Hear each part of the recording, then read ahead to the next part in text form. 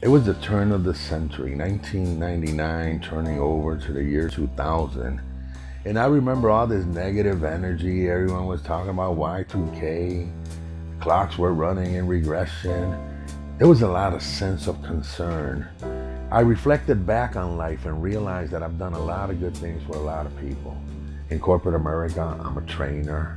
So I train people, I give them skills. I raise a family. In general, I'm a good person, I feel.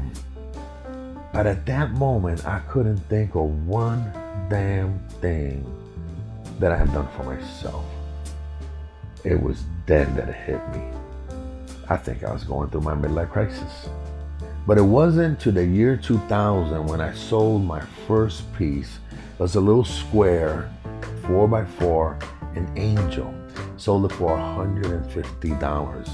It was at that time, in the year 2004, that I converted my midlife crisis into my midlife journey.